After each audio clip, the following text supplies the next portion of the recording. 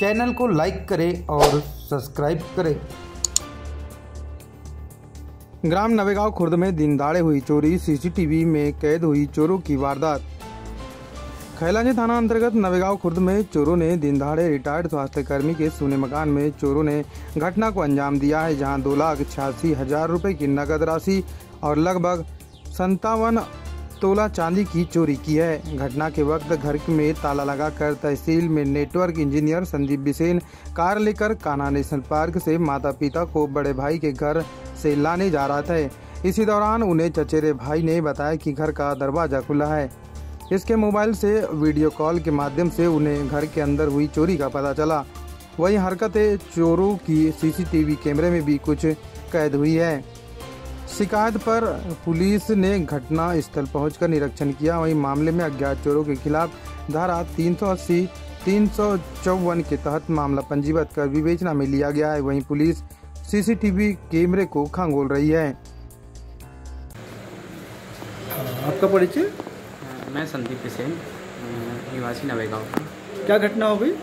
Sir घर में चोरी हो गई। कल दिनांक 25 तारीख को सीसीटीवी कैमरा की रिकॉर्डिंग अनुसार बारह बज के पचास मिनट पर लगभग चोरी हुई है चोर अंदर एंटर किया है। जिसने कि मेरी मम्मी का केस रखा हुआ, जो लगभग दो लाख छियालीस हज़ार और चांदी के कुछ जेवरात रखे हुए थे, जो पचास से साठ या पचास तोला या चालीस तोला का कुछ उन्होंने चोरी करके ले जा लिया है, जो सीसीटीवी में उनका रिकॉर्ड हो गया है। लगभग कितने की चोरी हुई अनुमान? अनुमानित नगद दो लाख चालीस हज़ार और चांदी का जेवरात की अगर कीमत लगाया तो लगभग तीन लाख। तीन लाख सूचना दी थी पुलिस में? जी हाँ सूचना दे दी कोई शौक कर जी। तो आपका परिचय?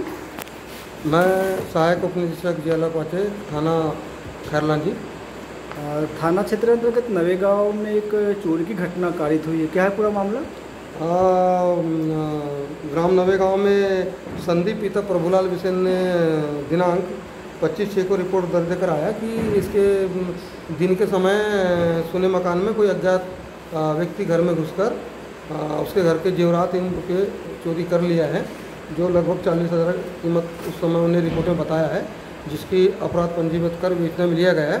उसकी जाँच पुलिस ने जारी है। आप देख रहे हैं बालाघाट खबर।